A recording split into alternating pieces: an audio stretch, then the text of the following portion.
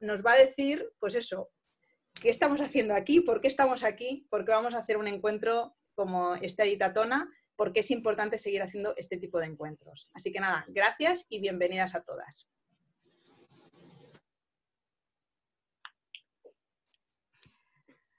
Pues muchísimas gracias, Patri. Gracias eh, a todas y a todos por estar aquí. La verdad es que para mí es muy ilusionante poder participar hoy un poco también desde mis, bueno, desde mi, profesión de, historiadora y de, feminista que, trabaja con, el arte y con las mujeres artistas, pues en, este contexto que también es mi casa, ¿no? Em, y además tengo mucho interés en hacer un poco lo que decía Patrick, que es convencernos porque yo lo estoy, ojalá os lo pueda contagiar, de la importancia de lo que aquí se hace y de las posibilidades que abre eh, para escribir un poco el relato de la, historia, ¿no? que suena como muy engolado, pero realmente creo que es lo que estamos haciendo. ¿no? Voy a compartir mi pantalla porque he preparado una presentación. ojalá os guste. ¿no? Vamos allá.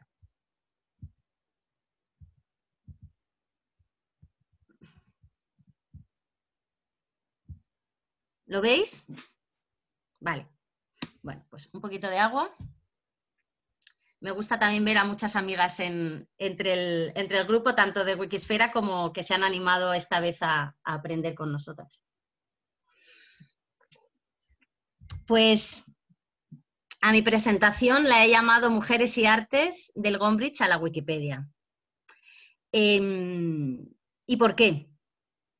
Eh, no sé si hay alguien más en la sala que haya estudiado historia del arte, pero cuando lo hacíamos, y me temo que todavía sucede, había un libro de referencia que se llamaba Historia del arte de Gombrich. ¿no? Gombrich era el señor que escribió el libro. ¿no?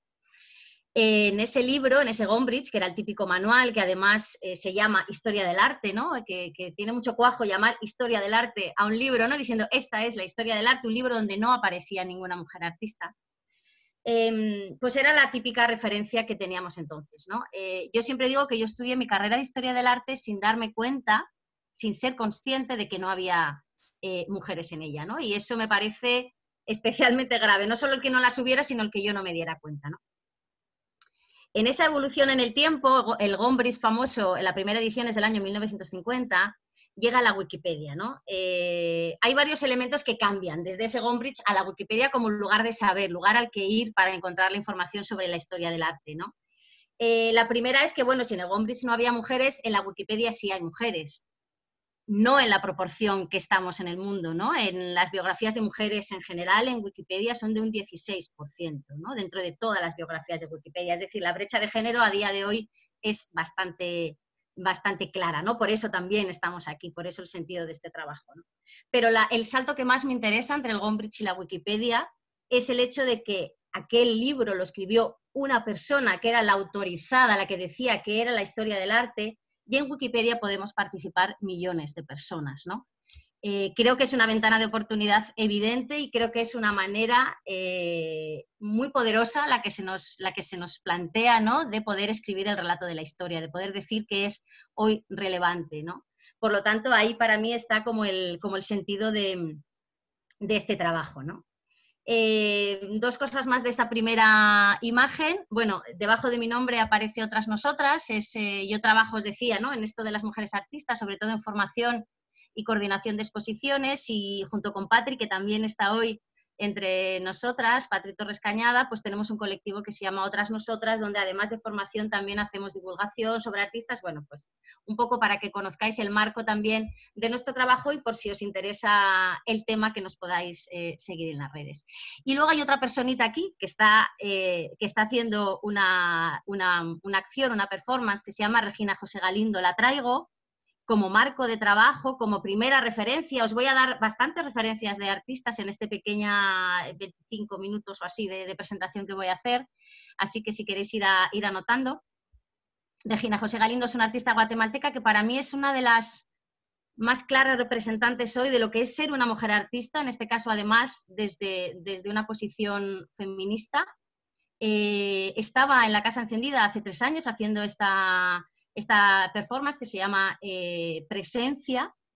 en la que ella eh, se pone el vestido de mujeres asesinadas por feminicidio en su país, en Guatemala, y nos las trae, digamos, ¿no? Con esa palabra tan clara de presencia, ¿no? Ella dice una, frase muy, muy potente respecto a esta acción, que es, yo no quiero ponerme en los zapatos del otro, quiero ponerme en los vestidos de la otra.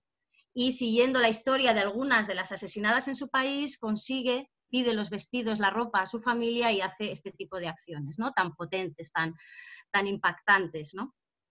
Entonces me parecía como una, una, artista un poco icónica para empezar y además, casualmente, cuando yo entro en Wikipedia, en Wikisfera, eh, en el año 2017, que llego también de una editatona, de una editatona que se hizo un año anterior, en el 16, sobre fotógrafas, ahí conocí todo esto, ahí dije, este es este es mi mundo, yo aquí tengo que, tengo que seguir porque me interesa como feminista, como historiadora, ¿no? como persona inquieta me interesa.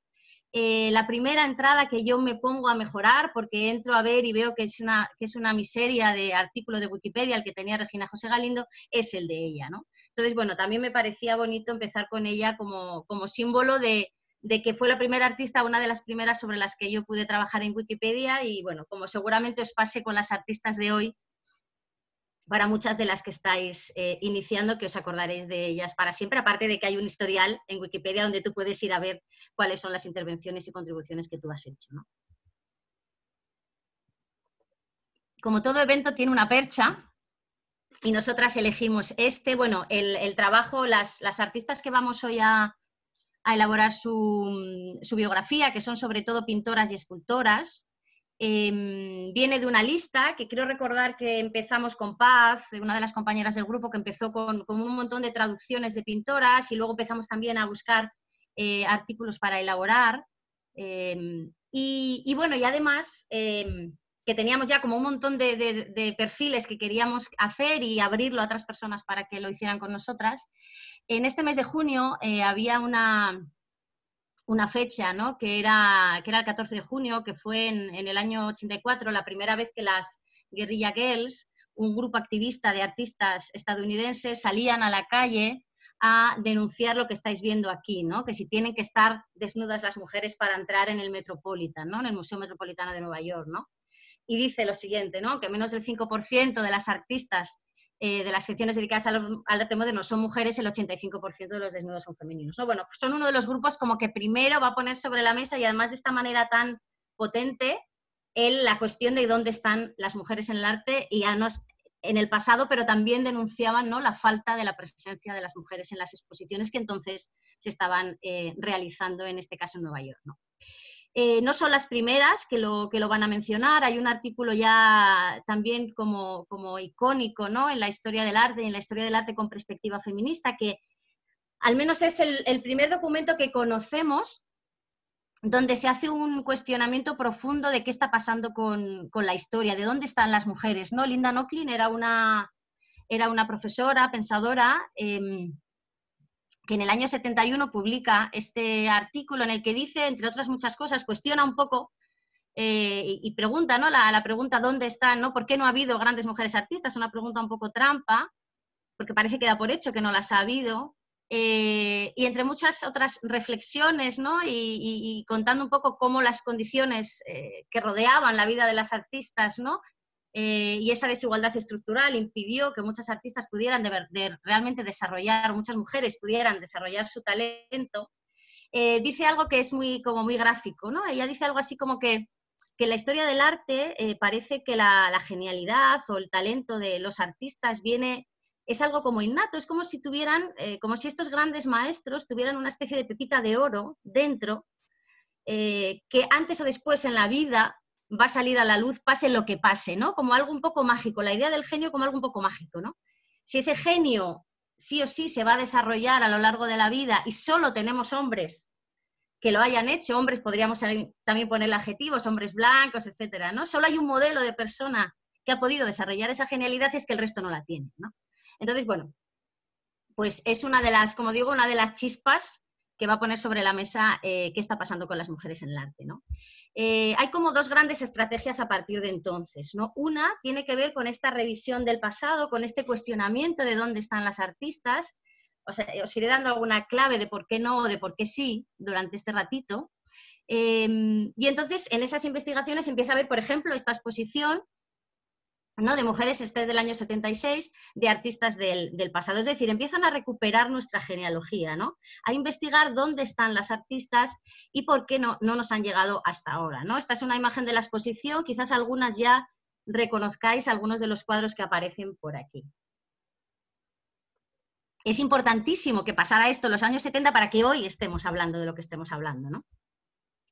Además de esa mirada crítica al pasado, ¿no? de analizar las circunstancias y de, buscar entre, entre, la, entre la historia a las artistas que sí, que trabajaron, que sí, que pudieron desarrollar su capacidad, también empiezan las artistas de ese momento a crear desde un convencimiento y desde un compromiso feminista. ¿no? Y solo una experiencia eh, por encima que se llama la Woman House, que son mujeres que se forman y que además hacen un planteamiento creativo en el marco de una casa, ese Woman House, en los años 70, también en Estados Unidos, donde intervienen cada una de las estancias eh, con obras, como veis en la de la derecha, hay unos, unos huevos fritos en la cocina que se van poco a poco convirtiendo en, pechos, ¿no? Bueno, pues con un, creo que es evidente el, mensaje que nos, están, que nos están dando. ¿no? Es decir, empieza a hacerse un, un arte comprometido con el feminismo.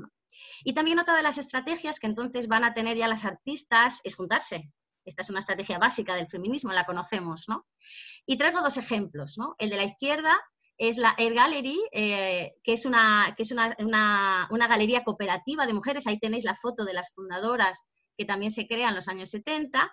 Y a la derecha es el Where We At, que además esta semana pasaba por la lista el, link, porque justo al, hacer la presentación me di cuenta de que el artículo no estaba traducido. El de la Air Gallery sí que lo traduje hace un tiempo. Eh, y era un grupo de artistas negras em, que sintieron que ellas tenían que hacer su propia exposición y su propio colectivo, porque no siempre coincidían con las artistas blancas ni con los hombres artistas negros en los mismos temas, en las mismas prioridades, en las mismas necesidades. ¿no? Si bien para ellas el racismo era el eje central de opresión que estaban viviendo, que sentían que era el principal para las artistas blancas, era el sexismo, y ahí no siempre se encontraban, ¿no? Creo que os puede sonar esto de otros debates bastante actuales todavía, ¿no? En el caso español, y es una figura eh, que a mí me, gusta mucho nombrar porque creo que ha sido fundamental, es Estrella de Diego, la que una de las primeras que va a poner sobre la mesa ya en los años 80 y a raíz de esta, que es su, eh, su tesis doctoral, la cuestión de las mujeres artistas en, nuestro país este cuestionamiento del androcentrismo en la historia del, arte. Por cierto, Estrella de Diego eh, tiene una malísima entrada en, la Wikipedia. Lo he descubierto esta mañana, nunca había entrado a verla. Así que otra tarea que tenemos por delante. Es mucha la tarea, ya, ya veréis, ya veréis. Em, bueno, en, esta primera os, hablo como esas dos estrategias, ¿no? Está la mirada al pasado y está un poco la creación actual, ¿no?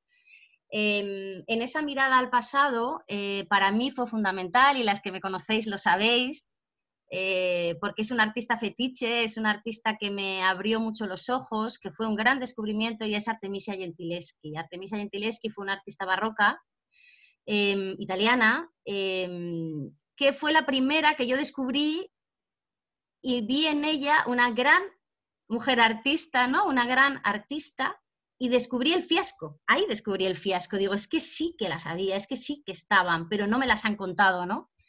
Y había otro, uno de los elementos fundamentales en esta revisión histórica desde la perspectiva feminista del arte, ¿no? Y es, hubo muchas mujeres que pudieron crear, que fueron profesionales, que vivieron de su trabajo, pero la historia no nos lo ha contado.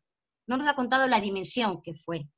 ese relato de la historia está sesgado, ¿no? Y muchas de ellas se nos han ido cayendo por el camino.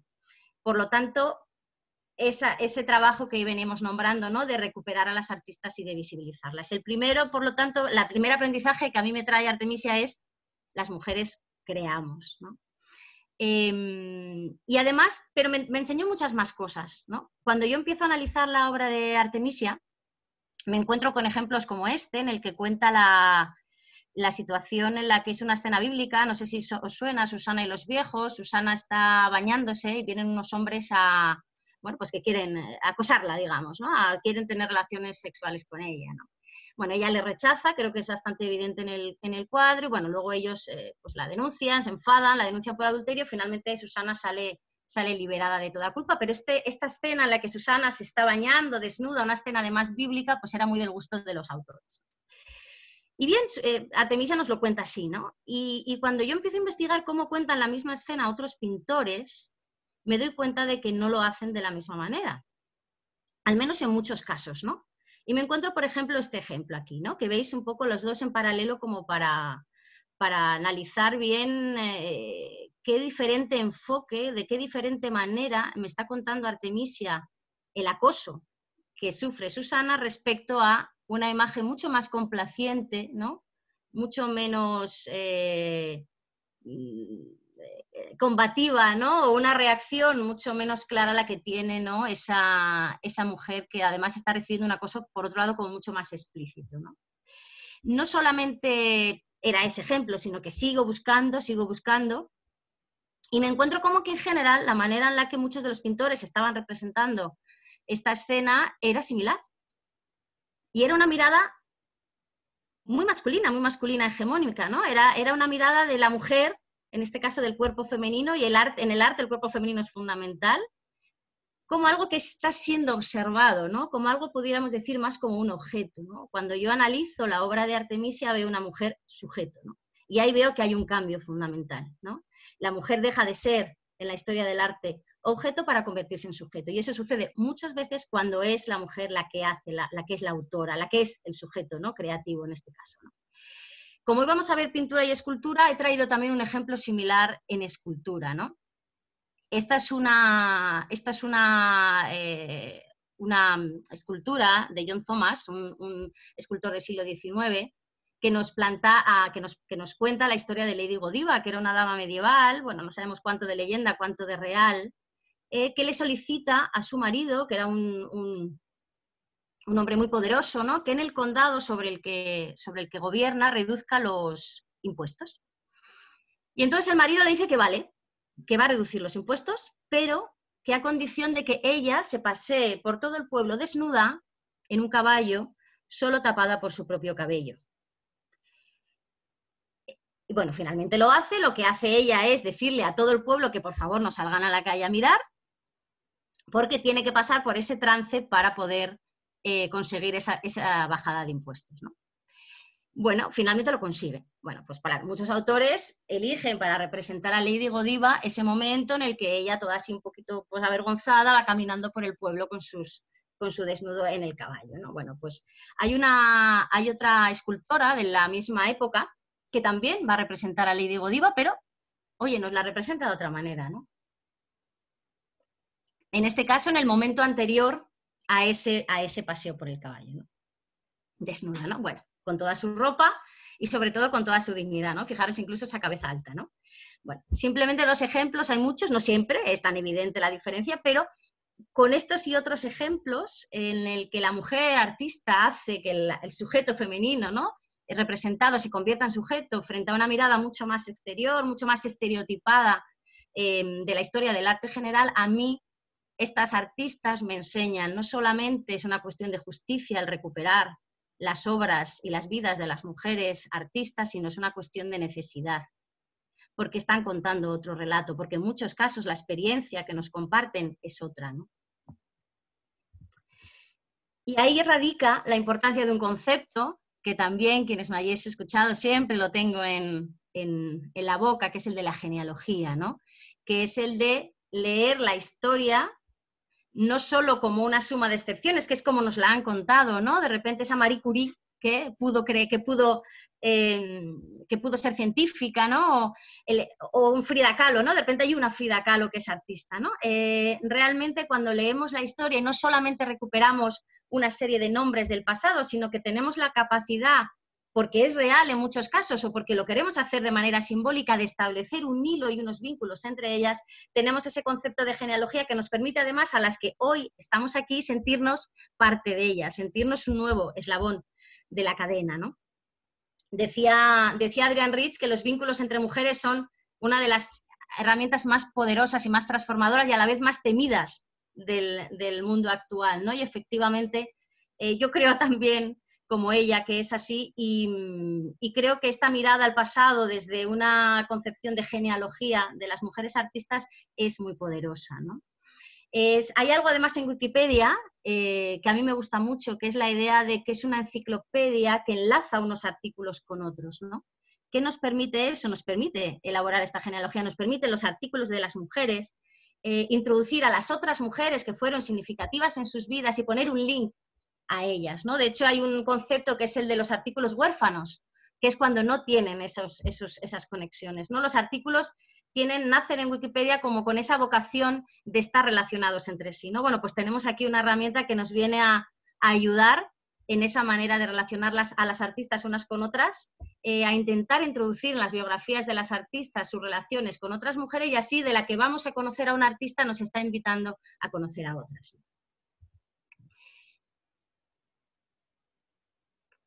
Esta idea de la genealogía eh, la pudimos ver con, mucha claridad en la última exposición que hubo en el Prado. No sé si tuviste la oportunidad de verla. Algunas sé que sí, porque incluso algunas la fuimos a ver juntas. Em, había una preciosa genealogía en la entrada de la exposición, en la primera de las salas. ¿no? Había también otros cuadros que yo creo que eran unas concesiones como más a la, a la mirada más hegemónica del arte, pero había una joya en la primera sala, que era esto, que era estas tres artistas vinculadas en la manera de autorrepresentarse. ¿no? Las dos de la derecha son las protagonistas de la exposición, Sofonis Van Guisola y Lavinia Fontana, y la de la izquierda era Caterina Van Hemensen, que también estaba en esa sala, discretamente, mostrando una joya de la historia del arte, porque dicen que es el primer retrato de un artista o de una artista que se, que se autorrepresenta pintando. Y vemos cómo con muchísima claridad la obra de las otras dos artistas, esos autorretratos, se parecen se parecen, pero si os fijáis, muchísimo, ¿no? Es la misma manera de representarse, ¿no? Imaginamos, desde luego sí sabemos que Sofonisba y Lavinia se conocieron, pero tuvieron también que conocer la obra de Caterina Van Hemensen, ¿no? Y había más obras que también nos hablaban de, esta, de estas similitudes y de estas referencias de unas a otras, ¿no? El cuadro de la izquierda, de nuevo de Caterina Van Hemensen, aunque no estaba en la exposición, estaba, ah, tiene un cuadro de, bueno, me parece que es su hermana la que está retratando, tocando la espineta, esa especie de clavecín que era muy de la, muy del gusto de la época, y ahí vemos a nuestras otras dos autoras también tocando el clavecín en una postura muy, muy similar, ¿no? O sea que, bueno, que, había un, que este hilo genealógico a veces lo podemos ver con muchísima claridad. Y además esta exposición eh, también nos contaba más cosas eh, y es, nos mostraba a dos pintoras con dos maneras muy diferentes de acceder al mundo del arte, pero que prácticamente eran las dos posibles que han tenido las mujeres ¿no? a, lo largo de la historia. Por un lado estaba Lavinia Fontana, que era hija de un pintor, de Próspero Fontana, entonces Lavinia hereda el taller de su padre y se dedica a la pintura, ¿no? Eh, pudiendo vivir realmente, firmar sus cuadros y vivir de ellos. ¿no? Una de las principales estrategias para que las artistas hayan podido llegar a serlo en el pasado es porque eran familias de artistas, ya estaban, digamos, en casa, a veces los, padres, si era el padre el pintor, pues querían que los hijos mm, aprendieran el oficio, pero a veces eran las hijas las que tenían el talento, ¿no? Y tenemos muchos ejemplos de la historia del arte, se me ocurre ahora la Tintoreta, la hija de Tintoretto, pero son muchísimas, que son las propias hijas, eh, o también podrían ser hermanas, o podrían ser las esposas de artistas, las que se formaban gracias a que estaban en el taller, ¿no? Normalmente era porque su padre era artista. Y luego está el, otra, el otro hilo, la otra posibilidad, o, una de las más eh, menos que por ser familia, pero que también era bastante habitual, que es la de eh, tener una familia eh, de cierta, en este caso era, Sofonisba pertenecía a una familia de la nobleza, un poco venida menos, pero donde había inquietudes culturales y en aquel momento, estamos hablando de la época renacentista, del humanismo, ¿no? Había también una corriente de pensamiento que eh, defendía el derecho a la educación de las mujeres y la importancia de que las mujeres se formaran, sobre todo en humanidades, ¿no? que se formaran en la música, que se formaran en el arte, que se formaran en el latín, que tuvieran una formación humanística. Em, había poetas, había, mujeres muy cultas en las, las cortes, en las cortes de, de estos primeros años de la Edad Moderna y había también un pensamiento que además se deriva de una figura que hemos trabajado mucho también en este grupo, que es Christine de Pisan, y, Celia trabajó arduamente ¿no? en la entrada de la ciudad de las damas, un libro maravilloso, en el que Christine de Pisan, unos años antes, defendía un poco el, valor y la capacidad de las mujeres y también la importancia de recibir formación. Entonces, bueno, en esa línea de pensamiento está Sofonisba, su familia, ella y sus hermanas se pueden formar en, eh, con pintores privados y ella puede desarrollar una carrera como pintora. Diferente a la de Lavinia, porque en general no puede firmar sus cuadros, tampoco cobra por ellos, pero desde luego nadie puede negar que se dedica a la pintura. bueno, así un poco como un ligero picoteo, como para hacernos eh, una idea de la dimensión de toda esta genealogía de artistas y de las y de la maravilla que tenemos por descubrir, si es que aún no lo habéis hecho, ¿no? O quizás haya personas que vienen con, con conocimientos en este, en este ámbito. Os traigo pues algunas artistas, a la izquierda Clara Peters, que también expuso el Museo del Prado, que además podemos ver sus bodegones en el museo, Judith Lester, ambas eh, de ese barroco flamenco, dos autoras fundamentales. En el caso de Judith, durante muchos años, algo que también ha pasado mucho en la historia del arte eh, con las mujeres, sus cuadros fueron atribuidos a autores varones. Otras dos autoras ya en Francia, principios del siglo XIX y finales, eh, Adelaide la fantástica pintora, que además eh, veis cómo se representa a sí misma con esa dignidad, pintando, es un lienzo enorme, donde además aparecen esas dos eh, alumnas detrás, con lo que nos está contando, no solo nos está diciendo soy pintora, sino además soy profesora, ¿no? Y quizás más conocida, Camille Claudel, eh, autora cuya obra se nos fue, digamos, robada por estar ingresada, como ha pasado con muchas otras artistas en la historia, en un sanatorio psiquiátrico sin tener ningún problema mental como para estar allí. Y sobre todo en este caso, bueno, nos dejó una escultura maravillosa, una, una obra escultórica y bueno, he traído esta porque la manera en la que representa el cuerpo de la mujer mayor me parece fascinante y de nuevo muy poco habitual en la historia del arte.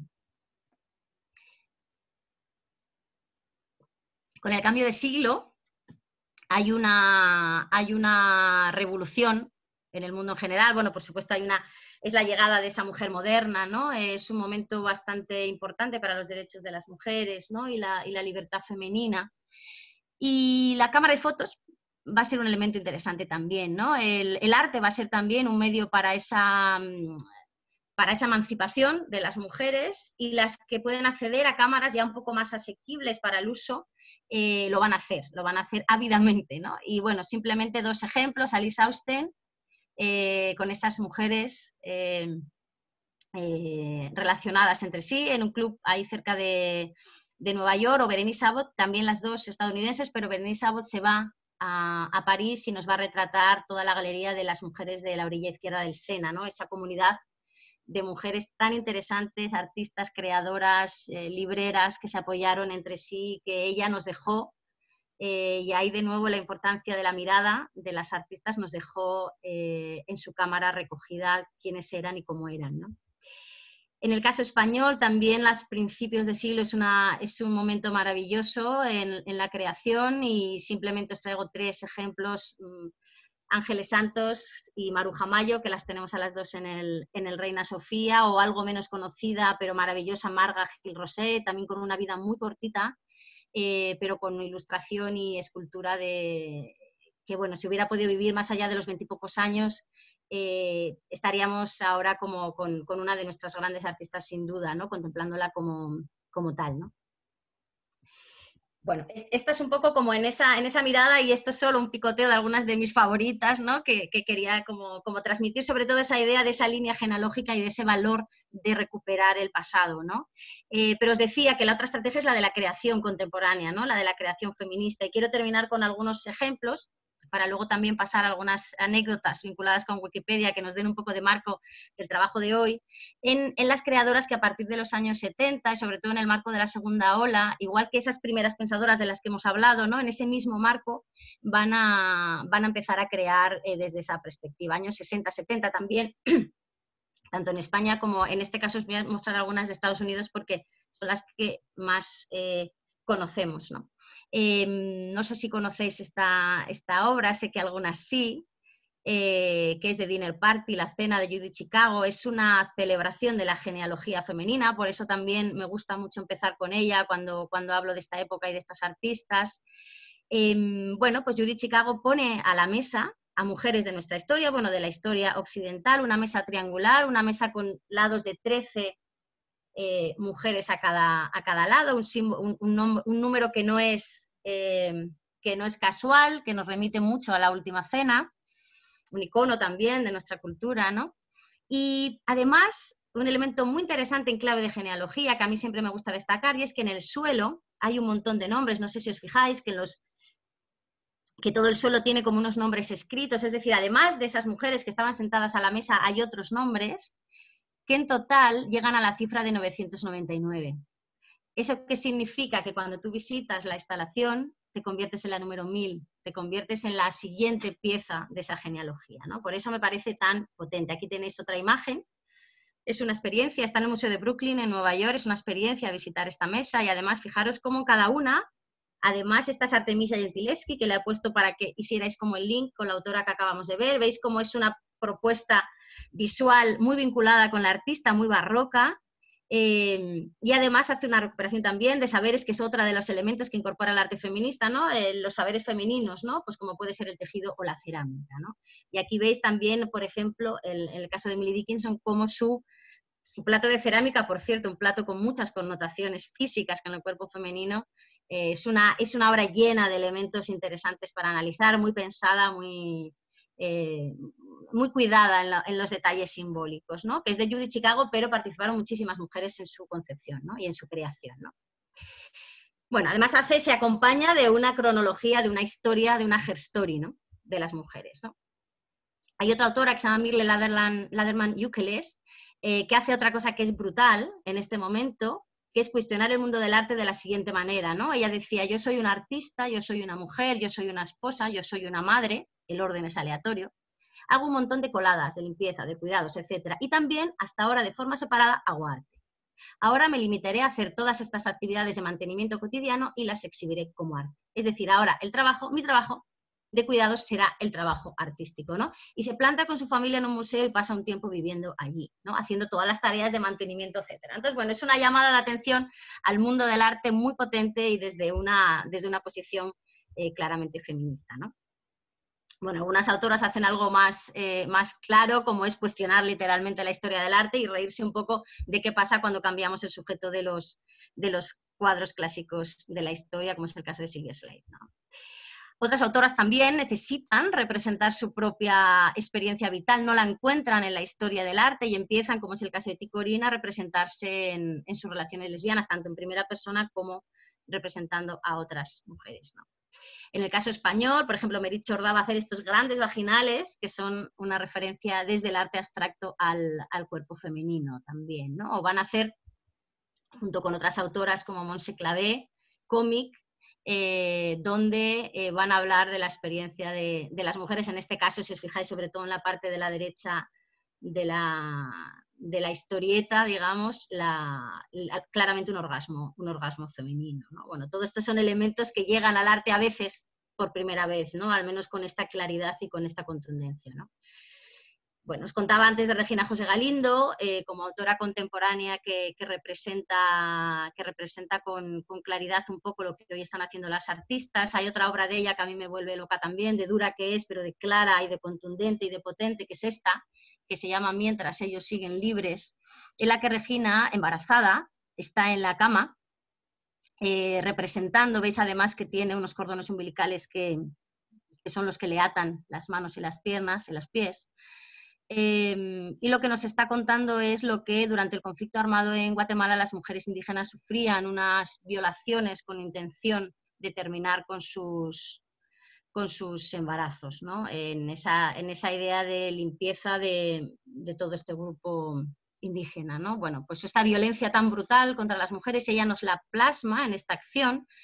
Para mí es como la manera más eh, clara, sin estar viendo la situación real en la que nos puede llegar una, realidad, y me parece que el arte hoy eh, tiene, tiene la posibilidad de hacerlo con, mucha, con todas las, eh, digamos, con toda la posibilidad de disciplinas que, que presenta. ¿no?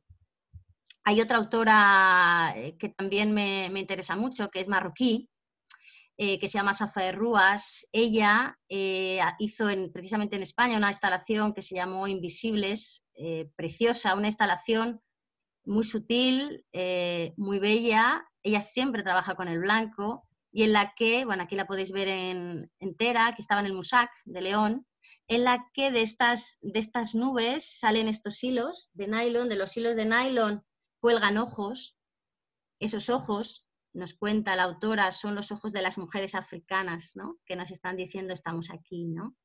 Y, bueno, pues otra manera preciosa y, y, muy fina de, hablarnos y de contarnos eh, la importancia de la mirada de las mujeres, ¿no?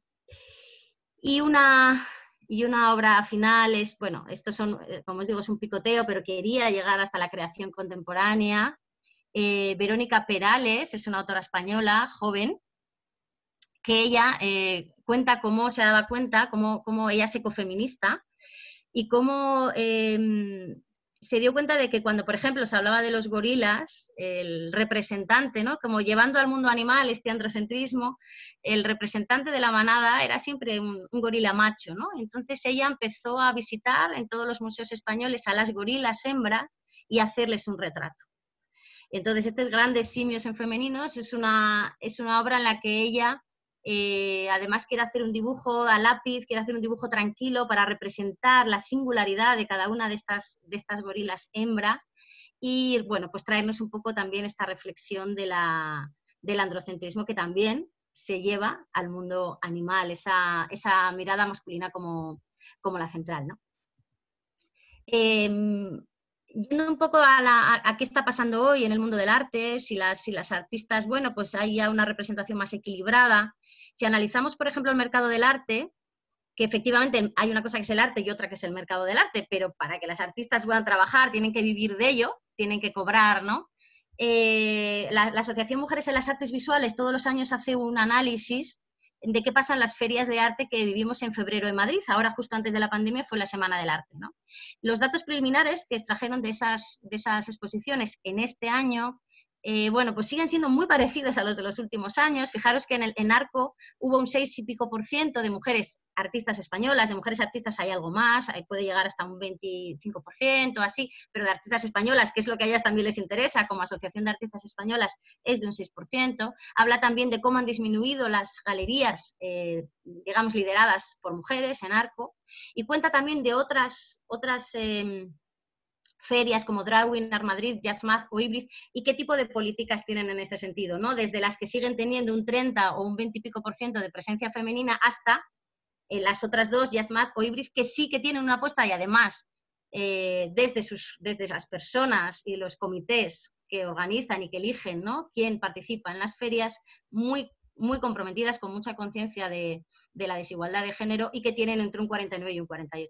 Es decir, que cuando se quiere y se toma la decisión, la opción política de que haya mujeres en las ferias, las mujeres están en las ferias, porque es evidente y sabemos que en la Facultad de Bellas Artes el número de mujeres es mayor que el de hombres, es decir, ya no te pueden decir, no, es que no hay, es que son menos, es que no. Hay, una, hay un sesgo enorme en, la manera todavía hoy en la que se reparte el bacalao. Y lo digo así porque al final estamos hablando de dinero y hay que hablar también de dinero, ¿no? Del valor que tienen las obras, pero también del valor económico, sobre todo porque para poder crear hay que ganar dinero con ello, ¿no? Finalmente, ya voy terminando, algunos elementos, bueno, un poco de, de, qué pasa con las artistas ya en Wikipedia, ¿no? Y aquí os traigo algunas experiencias que seguro que las compañeras también pueden enriquecer, porque en algunos casos son generales, algunas experiencias que yo me he encontrado, ¿no?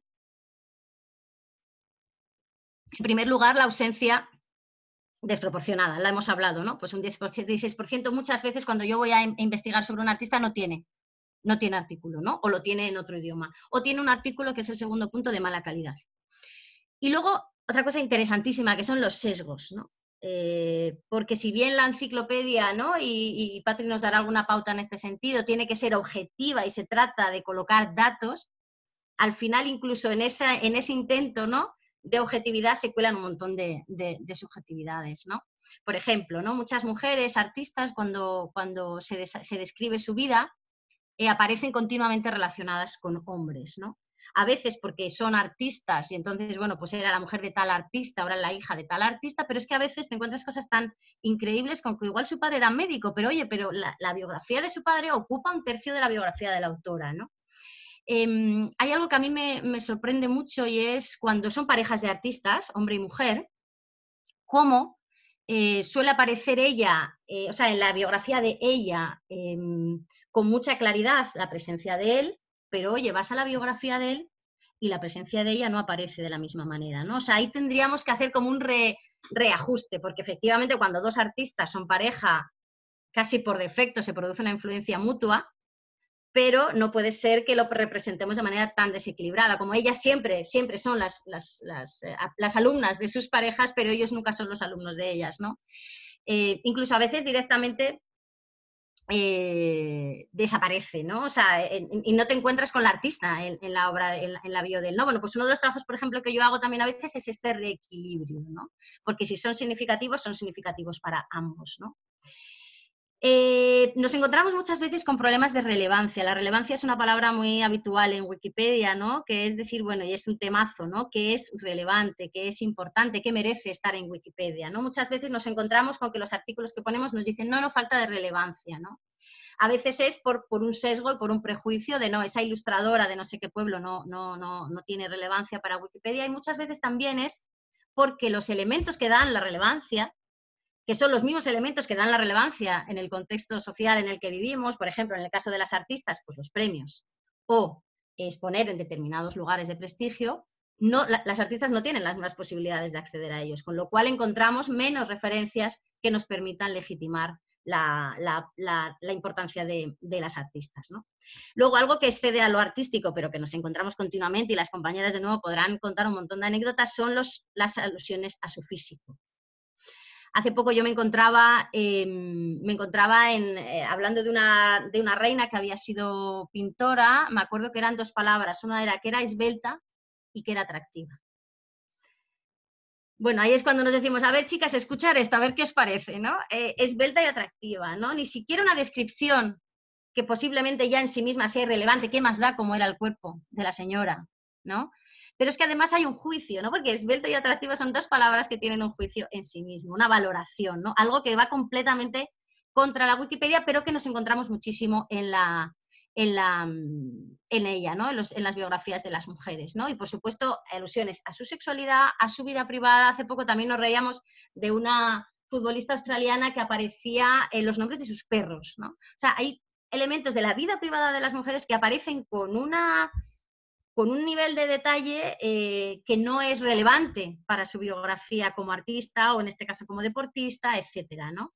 Y entonces, bueno, ahí siempre yo hago por un equilibrio, ¿no? Es importante la vida de las artistas o de las mm, periodistas o de las, pero en relación a, su profesión y bueno, pues hasta cierto punto, pero si es importante en ellas, también es importante en ellos, ¿no?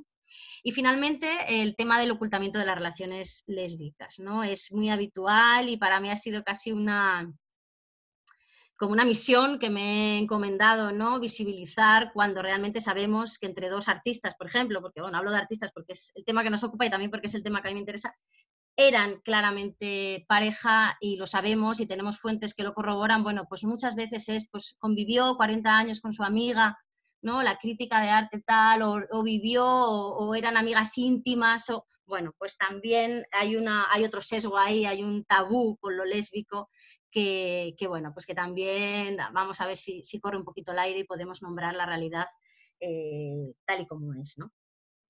Bueno, finalmente ya con esto termino. Eh, bueno, un poco todo lo que yo os he querido contar es como para entender la necesidad de seguir haciendo este trabajo, también el placer que supone investigar lo que aprendemos en este grupo cada vez que alguien publica y comparte una biografía nueva eh, y la importancia que luego tiene los textos que escribimos en Wikipedia en, toda la red, en todo Internet, ¿no? Yo siempre me acuerdo de un ejemplo, escribí hace muchos meses, bueno, retoqué, a mí me gusta mucho retocar, eh, mejorar las biografías, ¿no? Eh, una de Berenice la fotógrafa de la que os hablé, que fotografió a todas aquellas mujeres de los años 20 de París. Eh, y recuerdo perfectamente, se me quedó, no sé por qué, que me puse, ella decía, o sea, la biografía hablaba de que hacía retratos y yo puse coma, especialmente de mujeres, coma. Bueno, yo hice esa intervención junto con otras por cierto, también decir que esa señora con la que había vivido 30 años era su pareja, y al cabo de unos meses necesité otra vez buscar información sobre Berenice Abbott. Pues cuando voy a buscar y meto Berenice Abbott, oye, me encuentro que esa retratos, coma, en su mayoría de mujeres, coma, aparecía en un montón de páginas, montón de páginas. Y ahí me hice como consciente del impacto que tiene este trabajo, ¿no? Que lo que tú pones en una biografía, la gente sin pudor ninguno, porque es evidente que la gente no solo lee Wikipedia, sino que la, que la copia, ¿no? Em, sin problema en sus posts, en sus blogs, en, lo que sea, en sus artículos. Eh, lo que estamos aquí escribiendo, lo que podemos poner, ¿no? el énfasis que podemos hacer en cualquier elemento, la biografía que llevamos a Wikipedia, es desde ese momento ya es material de consulta y además es una referencia muy, muy utilizada, con lo cual me gustaba un poco terminar con esta idea de nosotras podemos y debemos editar, hay un gran trabajo y un precioso trabajo por hacer y, bueno, también el otro día nos hacía Patri esta, imagen confinadas, pues quizás también en este momento tan extraordinario que puede haber más margen para el trabajo, más tiempo para hacerlo, pues creo que es un momento precioso para ponerse a la tarea y bueno, eh, vamos hoy a aprender, muchas vais a aprender hoy, ojalá os conquiste y ojalá sigáis porque es un trabajo muy político y además, insisto, también muy placentero por hacer. Y ya está, muchas gracias. Muchísimas gracias, Encina. Qué placer. Ya puedes descompartir arriba la pantalla.